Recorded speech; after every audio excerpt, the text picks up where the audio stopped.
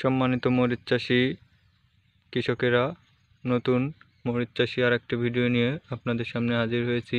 তো আজকের মরিচ চাষের ভিডিওটার টপিক হচ্ছে মরিচ গাছের অনজি এবং টু জি কাটিং তো এই গাছটা ভালো করে খেয়াল করুন। এই গাছটা কিন্তু কোনো প্রকার শাখা পোশাখা কিচ্ছু বের হয়নি। এই যে গুঁড়া থেকে একদম মাথা পর্যন্ত এর একটাই কিন্তু ডাল, ঠিক আছে?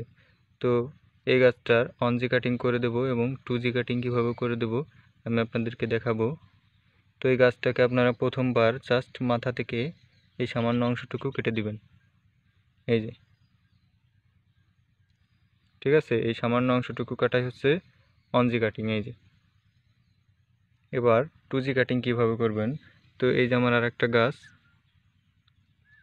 এই গাছটা কিন্তু টু জি কাটিং করব। ওয়ান জি কাটিং গাছটার কিন্তু মাত্র একটাই শাখা ছিল, ভালো করে খেয়াল করে দেখবেন। এটা হচ্ছে ওয়ান জি কাটিং এবং এটা হচ্ছে টু জি কাটিং অর্থাৎ টু জি কাটিং করব এখনও টু জি কাটিং করা হয়নি। অর্থাৎ এই গাছটা পূর্বে একবার কেটে দিছিলাম।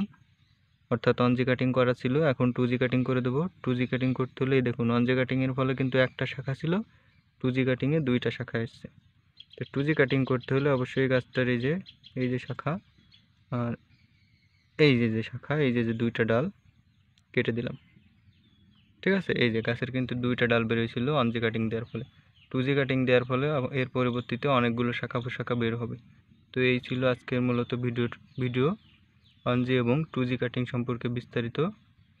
ভিডিওটা ভালো লাগলে অবশ্যই একটা লাইক করবেন। ধন্যবাদ সবাইকে।